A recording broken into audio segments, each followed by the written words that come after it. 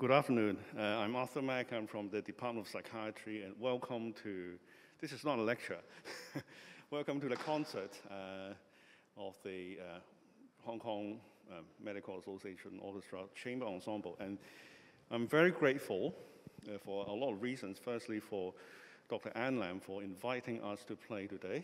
Um, to be able to play to a live audience is a rare thing, is a very valuable thing that we should all cherish. And we are really very lucky to be the, one of the very few you know, people, and we are not even professional musicians, to be able to you know, perform to an, a live audience that is you guys. So the second thing is thank you for coming and sharing the moment with us.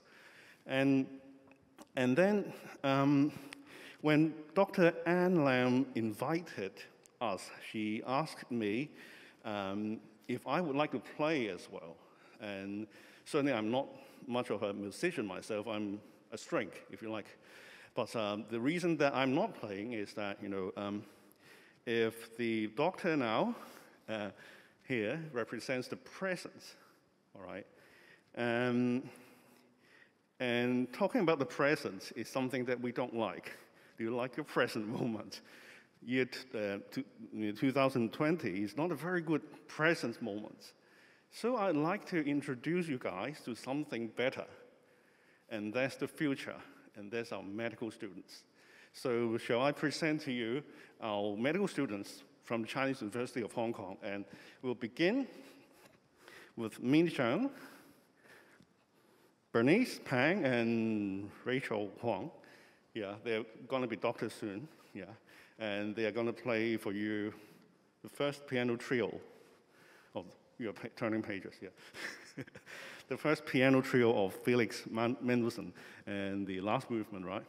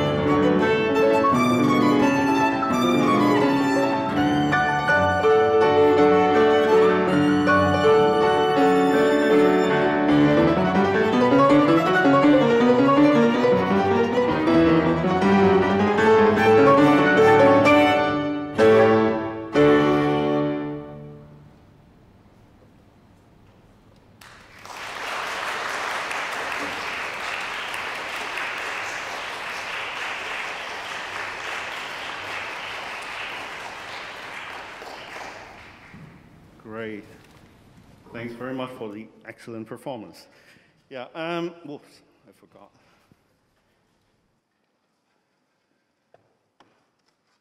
Now you see, music is life. Um, medicine is about life, but there is something that medicine cannot do. That is to give you the kind of life that music would have to give you or have been giving you. And that's probably one reason why I founded this um, uh, ensemble four years ago. Uh, I saw very talented future doctors, doctors who are also very talented musicians as well. And so they are all working very hard in the fields of practice, in their you know, studies. But if I do not let them practice and perform music, it's like having a part of them, you know, dead, not living. And I find this extremely inhumane. So, um, so here we are, and four years, of running, we have um, held like yearly concerts, and I hope we'll have a concert still next year in spite of everything. And these are really talented people, and listening to them play to myself, I really feel hope for the future. And I, I, I hope you, you, guys will feel the same as well. And we even have a recording uh, properly made and properly played of Brahms's um, second piano quartet, and I was just reminded by my friend that um, this is probably the only recording made by anyone from Hong Kong of this particular piece, and we feel very proud. And this is for a mental health charity, and if you are interested to, you know, um, purchase this little CD, uh, please pop me an email or, or inbox our fa Facebook page. So a little bit of commercial time there. And yeah, um, exactly it is in this spirit that um, we have to give life to ourselves. Um, I also have um, something to say about the current situation. Um, yes, we do not, or we should not afford to let this part of life go away, especially in this um, particularly difficult moment of the COVID 19. Please let doctors worry about the vaccines. Please let doctors worry about the fantastic cocktail medicines that's going to, you know, bring this to an end. I'm sure it will, right? But whilst we are doing this, we are hard at work in, on this. We, should, we cannot afford to starve ourselves, our souls. We should not, we cannot afford to starve our musicians who have been, you know, working alongside the doctors to, you know, give us life. So do not let music stop and do all, whatever you can, all that you can, to keep music alive. So yeah, a shout out to all the great musicians here and, and everywhere in the world. And so, okay, I have to introduce the next program. Sorry, I forgot. Um, I like lecturing. That's why I didn't become a musician. yeah, right. Um, yeah, this, well, I, I don't exactly know why the, the, the, the young people chose this program actually, but when they told me they're going to play these two pieces, I said, okay, it's very sensible. Why? You see, there's a very you know, close connection between the two. Robert Schumann was a great fr friend of Felix Mendelssohn, a very close friend, huge admirers of each other.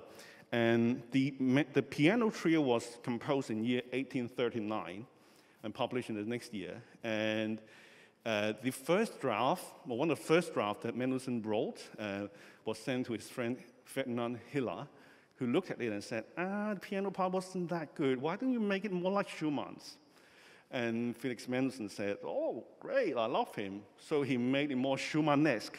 And eventually he sent the draft to, the amended draft uh, to, to Robert Schumann. He, he, he loved it. And, and it's from that draft that he said, okay, this is our 19th century's Wolfgang Amadeus Mozart. This is um, Mendelssohn. So that's it. And then, but then, it was just uh, two years later when Robert Schumann wrote this piano quintet, initially for his wife and another string quartet to play, and it was in year uh, 1842, known as the chamber music year, or the psychiatrists like to say is a manic, long manic phase in his illness, or well, anyway, it's a very good one. Um, so he wrote that initially for his wife to play, but Clara Schumann fell ill at the premiere, so she couldn't play it. So eventually, uh, Robert Schumann called on his friend, hey, Felix, um, hey, how you? Uh, can you just come now because my wife is sick and she can't play. So Felix Mendelssohn came here, grabbed the score, and sight read it. You're going to listen to this music and understand how impossible it is to sight read. It's a very difficult part. And so, but after that, probably um, um, Felix um, uh, gave Robert a hand. And this is too difficult, and maybe we should, you know, tweak here and there. And so you can see actually uh, Felix Mendelssohn's corrections in there, and uh, to uh, give uh, rise to this masterpiece of, of chamber music. So you can hear a bit of um, Schumann in the first piece of program, and you can also hear a little bit of Mendelssohn in, in the second bit of the program. So without further ado, uh, our big hands to Bernice again, Jonathan, um, Jason, and Chris and with Marcus on the, on the piano. Yeah.